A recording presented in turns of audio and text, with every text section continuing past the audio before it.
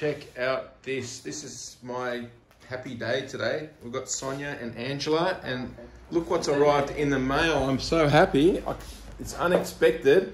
It's one of those awesome moments in business and in life where just things happen for a reason, and this is a cool thing that's happened. We met a lovely couple, Helen and Neville, and they put a deposit on a Delica. They were all excited about going for an off-road adventure, and Neville is a very well established and well known artist, Neville Connor.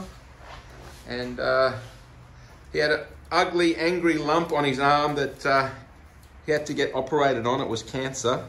And he had some unexpected medical expenses and he couldn't go ahead with the purchase. So, of course, we gave him his money back and he said, I'm going to give you a painting, Philip. And I didn't really pay much attention because a lot of people say stuff and uh, it all just goes by the wayside. But look at this. What a magnificent and beautiful painting from Neville and Helen. I can't believe it. There's his signature. I'm going to hang this pride of place in the office. How good is that, Ange? I love it. Fluffy the sales like wants to eat the wrapping. He wants to take it out. Thanks so much, Helen and Neville. We're going to get you a car soon. Don't worry about that. What a wonderful gift. Thank you very much. Thanks for watching this video.